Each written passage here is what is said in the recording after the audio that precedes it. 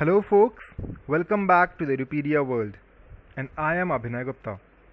So today again we are continuing with the winding up of the companies, right? And the provision for this chapter will be contained in your Companies Act 1956. Clear with that? So in the previous few lectures we have uh, dealt with the liquidator in detail like the various types of liquidator, the official liquidator and the provisional liquidator and also the duties of the liquidator. So if any one of you have missed on any of those lectures, please go back to the previous lectures, complete them and then move forward. Right? Because over there we have already de dealt in detail with the liquidator part. Right? So the main topic under consideration for today's lecture would be the next. That is the committee of inspection right? You will have the committee of inspection. Now this committee of inspection you need to understand what they are when do you need them and what are their functions and the roles right? So the basic consideration for the chapter is the committee of inspection. And basically if we say what it is then it is a committee of inspection. It is a committee which represents the interest of all creditors of the company going into liquidation that means if the liquidator is undergoing any procedure for the liquidation, then this committee of inspection is a committee that will put a check. If they think that no, at the end, the crux of it would be that the creditors would receive a lesser amount. Right? Because the basic whole and sole purpose behind this winding up is that the liabilities of the company gets cleared. So creditor, creditor is also a liability to the company. So if the creditors right they don't have this committee of inspection there can be an instance whereby the procedures that are followed by the liquidator could lead to a lower amount of recovery for the creditors. So just to ensure that nothing of such sort entertains in the company nothing of such sort occurs in the company they prepare a committee of inspection. They will inspect the work of the liquidator for their own benefits. Right so basically these committee of inspection are appointed in any company at the event when the company gets dissolved right? And there is a doubt that the creditors will not be paid in full for the settlement right? So basically you also know we have already discussed in the previous lectures that there are two categories of winding up. One is the voluntary winding up and the other category is the compulsory winding up that can be done by the petition filed through the creditor through the members the contributors the registrar anybody right? We have seen it in detail already. If any one of you have missed the lecture please go back refer to the lecture and then come back. Right? But what i basically mean to say is that the winding up is segregated into two major parts. One is the voluntary winding up and other is the compulsory winding up. So when uh, or in the instance of the compulsory winding up right when the court orders that yeah it is just an equitable for the company to be wound up then along with that they will also send an intimation to the they may. It is a discretionary power of the court right? So the court may also send an intimation to the creditors of the company that whether or not they want to create an uh, create a committee of inspection right? And then it, the discretion goes to the hands of the creditors whether or not they want to do so. If they want they can appoint the members for the committee of inspection and if they do not want then there will be no committee of inspection as such right? Now what happens in the case of voluntary winding up? There is no court. Who has the discretionary power then? Nobody. What happens in the voluntary winding up is that the members of the company they call the meeting of the creditors right? And they then put down the case in front of them that look this is the liquidator we have appointed. Are you happy with the liquidator or do you want to form some someone else as the liquidator of the company? Right? Then it is a discretion of those people to decide the creditors to decide whether or not they're satisfied with the liquidator right now if they're satisfied with the liquidator again there is two circumstances right uh, or even if they're not satisfied what happens basically let me tell you the case that when the company has appointed for example Mr. X as the liquidator of the company right and the creditor is not very satisfied with the appointment of Mr. X so they have an option to elect someone else as the liquidator and then the procedure will go ahead to see which will be the official liquidator finally. Right? But other way, ways is they can also accept this liquidator in full. In full capacity that okay you are the liquidator go on and do your job without any restriction.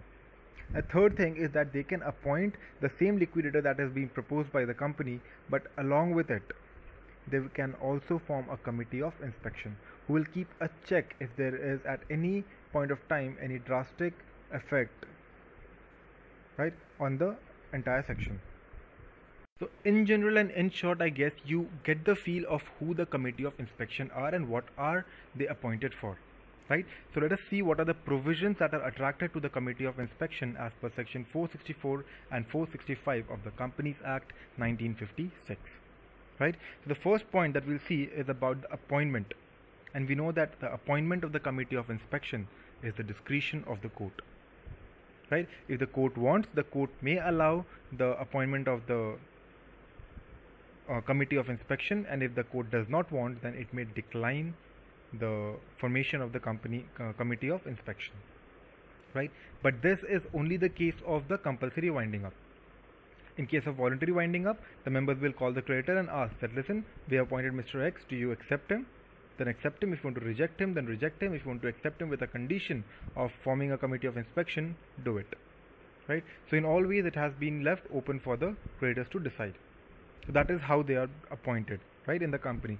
First of all a decision is to be taken whether or not there will be a committee of inspection. Right? Now next we need to see what are the methods of appointment. Appointment through creditors contributors and liquidators. So how are these members of the committee appointed so basically when we talk about the appointment of the committee of inspection, we need to understand where does the appointment initiate. So the committee of inspection will be formed only when the court has given the permission, the court has a discretionary power. So the initiation of the committee of inspection's formation starts from the day when the court has given the permission for forming the committee of inspection. Right? Then within two months, the two months from the date of the direction of the court, the liquidator shall convene a meeting of the creditors right? And that meeting will be convened with a specific purpose of determining the members of the committee. So the liquidator will ask the creditors to call for a meeting and in that meeting all of them will sit they will decide and they will pass a resolution right? That will be an ordinary resolution to form the committee of inspection to appoint the members to the committee of inspection right? Then once the meeting of the creditors have been conducted right and they have selected one person as or they have selected certain members into the committee of inspection, then the meeting of the contributories of the company will also be called. And even that will be called by the liquidator. But that shall be called within 14 days from the end of the date of the meeting of the creditors. Right? And the main purpose behind holding this meeting is to consider the decision that has been taken by the creditors in the creditors meeting. Right? It has to be cross-checked. It has to be beneficial on both ends right? They have to be neutral. So instead of focusing entirely towards the committee of creditors uh, to the creditors meeting and then decide in the committee of members inspection they will also use the members vote the members discretion in order to form that committee the committee of inspection right? So after the end of the meeting of the creditors 14 days hence the company calls a meeting of the contributories of the company right?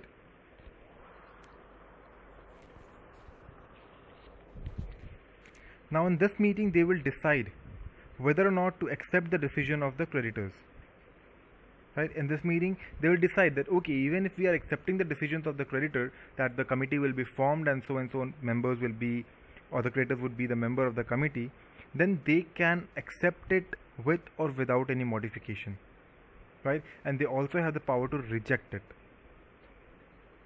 right? But if the meeting is not being able to convene in the within the 14 days period what what would be the end result? Will the meeting never be convened? No. There is a way out for that. So if by any cause either the failure of the liquidator or the failure of the company the company is not able to hold the meeting on the due time then what they do is that the court has the power to extend that duration for holding the meeting right? So now consider the situation where the company the meeting the members of the sorry when we have the meeting of the contributories right they accept the decisions taken by the creditor. So everything is good. The creditors have taken the decision. The contributories have confirmed it. Let's go ahead with it right? If they're trying to modify it? Or if they are not agreeing with the uh, decisions of the creditor in, in the entirety then there is a clash between the contributories and the creditors. Now, who would be the decision maker in this case? Right?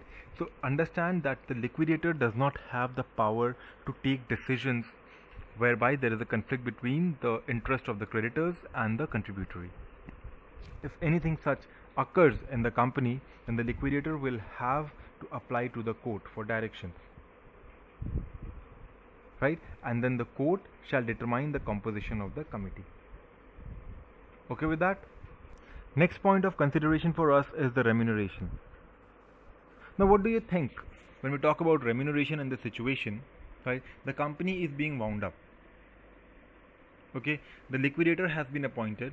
The liquidator is undertaking certain procedures for winding up the company, for uh, disposing of the assets, for paying off the creditors, the liabilities, and the creditors feel that there can be a problem with it. There can be a biasness in the liquidator, and hence to put a check on that, they appoint the committee of inspection. Now, do you think these people who are appointed in the committee of inspection, they are being appointed or they are holding the office for remuneration purpose? No. They may be suffering huge losses if the company dissolves. If the company is not able to pay them their losses back, they may incur huge losses. So at this point of time, they will never be concerned with the small remuneration that they would be getting by being a member of the committee. Right? All they would think is that they will want to be the member of the committee only when they consider that yes, we can have a positive impact. Right? We can counter fight the liquidator, or we or the people who are who have been appointed as member of the committee are eligible enough to find out the other ways right? So these people are not working for remuneration. So generally the committee is not entitled to any remuneration. But however the court may authorize the payment of the remuneration to them if the court deems fit. Right so clear with it? So remuneration was never the objective of forming the committee of the inspection. So we'll not be talking about any remuneration. But if they if the court decides that no they should be they should be getting a remuneration then it is beneficial for those people who have been nominated to be the members of this committee right? Now who will be the members of the committee?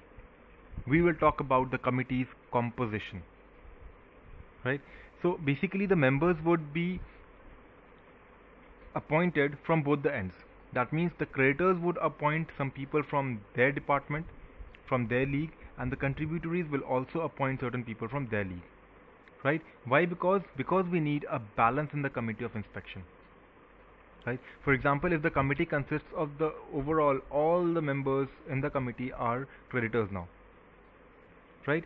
And now at any point of time they can force the liquidator to act upon in such a way that it is beneficial for the creditors. They don't care about the company they don't care about the other liabilities or anything. They may be biased towards the benefit of the creditors. And the liquidator would face problem in following the procedure that he had decided.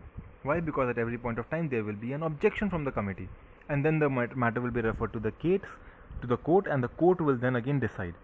So it becomes a cumbersome process, and an unnecessary task, an unnecessary repetition.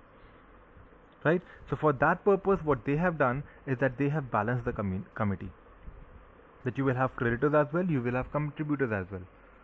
So that neither the contributors are at loss nor the creditors that means the contributors and the creditors both are at profit. Agree to the point?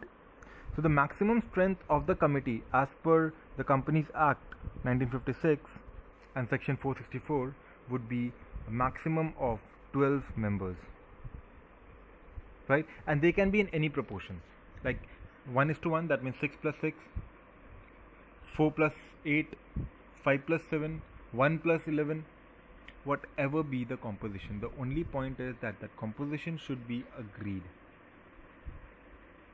either among the creditors and the contributors and if at any point of time they are not able to agree or the take a common standing on any particular composition right not even 50-50 is what they are agreeing to then the matter would be sent forward to the court.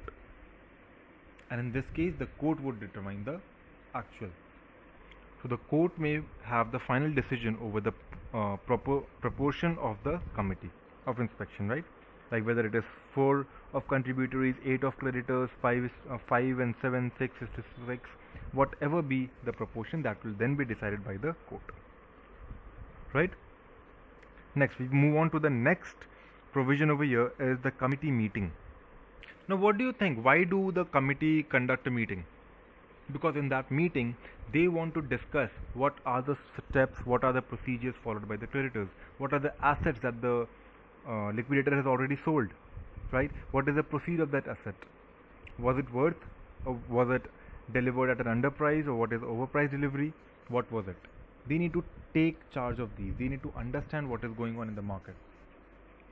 Right? So for this purpose they will call a meeting and also to balance the scenario to keep a check and to have the controlling right right? Now what would be the duration of their meeting or the intervals for their meeting? Is there any fixed thing like for the directors meeting or the board's meeting you know that you have to have four meetings in a year one in each quarter right? Those are the conditions given over there. So in this case what do you think? When we talk about the composition the when we talk about the meeting of the committee what would be the number of meetings or the minimum duration or the maximum duration exactly. Because you're not able to uh, think anything is or i mean why you're not able to think anything is that there is no possible rational reason to decide that okay at this frequent interval they'll have a meeting like every week or every month or something. You cannot fix it because that is need based right? So they will automatically appoint that okay on this day we are going to meet. On that day when they're meeting they will appoint some other day maybe two three months down the line that okay that day we'll be meeting let the liquidator continue with the process and we will be meeting on these two days and then we'll be deciding as to how to go ahead with this and what are our budgets. Right? Now if at any point of time right between the two meetings because in the first meeting have decided when the second meeting will be held but between that you feel the need of holding a meeting. What do you do if that is the case then the liquidator or any member or any creditor of that company may call a meeting of the committee as and when it thinks necessary. And the committee will come and meet. Right? So the power has been given only to the liquidator to the creditors and to the contributories. Okay with that? So you understand how and when the committee would be meeting for solving their or resolving their purposes? Now when they come to the meeting right? There is very rare possibility that all of them would agree on the same topic. Anybody can have a new idea. Anybody can have an extremely opposite topic or a contradictory issue. Whatever can pop up right? So in that situation how do you make the decision? Will you give the maximum power to the people who have the majority number of shares? Because the creditors don't do not have the shares. That cannot be the actual basis or the person to whom the company is liable to with the maximum amount. Again that is not possible because the contributories for them the company is not liable. That means we are on a level playing field.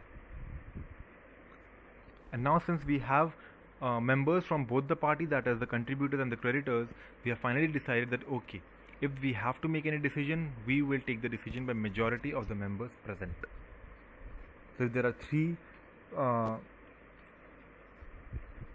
contributors and three creditors then be less assured that the meeting can be a tie. Or even if one creditor supports the contributor the contributors win. Or if any one contributor supports the credit creditor the creditor win, wins. Right? So basically what i want to convey is in these meetings the decisions are taken by the act of majority. The majority of the members who are present at the meeting. Right? Now what would be the quorum of such a meeting we know the majority we know the total number okay we, we can have a maximum of 12 members in this committee. Right? So what do you think should be the quorum of this committee? It is again the same thing. Either one third of the total number of members or a minimum of two members. And hence the committee of this inspection can never act unless the quorum is present. Right? And the quorum we know is either one third of the total number of members or two members in totality. Right? Now when the liquidators are preparing the accounts as we have seen in the previous class right they have to submit their accounts their audited statement and stuff with the court with the registrar right and sometimes with the other members and the liquidators as well the sorry the members and the creditors as well so do you think that the committee of inspection that we're talking about they will also be covered in the same concept That means if we talk about the right to inspection of the accounts, the committee of inspection shall have the right to inspect the accounts of the liquidator at any reasonable time. Do you think that is viable over here? The answer is yes. Because you have already given the right for inspection to the creditors individually, to the members individually. Then why don't you give that right, uh, that right to the committee who have been that has been formed by those members and those creditors itself? Right? That was about the inspection of accounts. Now we have two more two more provisions to be understood right that would be the cessation of the membership and the filling of the vacancies right? We have it on the screen the cessation of membership and the filling of the vacancy right? But this uh, we'll be dealing in detail in the next lecture because we have a little shortage of time in the lecture that we are dealing with today. And in that lecture we'll also deal with the duties and functions of the committee of inspection right? So that there are three topics that we are leaving as a pendency from this lecture.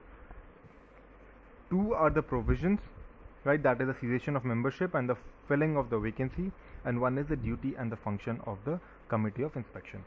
So with that in the next lecture we'll be completing with the provisions of the committee of inspection right? And then we'll move on to the next topic that is the power of the liquidators. Okay with that? So until next class this is Abhinay Gupta signing off. Please stay tuned for the videos that are coming up and for any suggestion, any query, please use the comment box below. Right? So until the next class, this is Abhinay Gupta signing off. Thank you and bye-bye.